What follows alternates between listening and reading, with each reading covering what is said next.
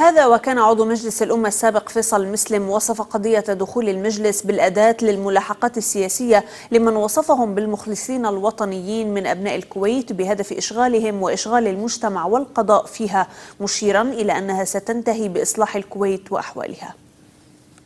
تؤكد هذه القضية وستظهر التفاصيل وسيسجل التاريخ تفاصيل هذه المسألة بأن السلطة ومن هو متعاون معها اتخذوا خيار الملاحقة السياسية للخصوم السياسيين الخصوم الوطنيين المخلصين لهذه البلد لملاحقتهم وإشغال المجتمع وأيضا إشغال القضاء في هذا الشأن.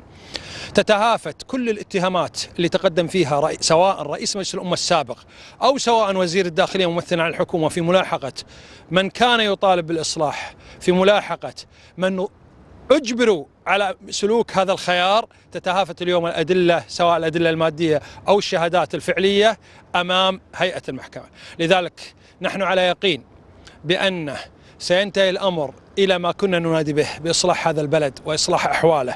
اللي اليوم ثابت أمام الناس كلها أن كل الخيارات تثبت زيادة الأمور سوءا.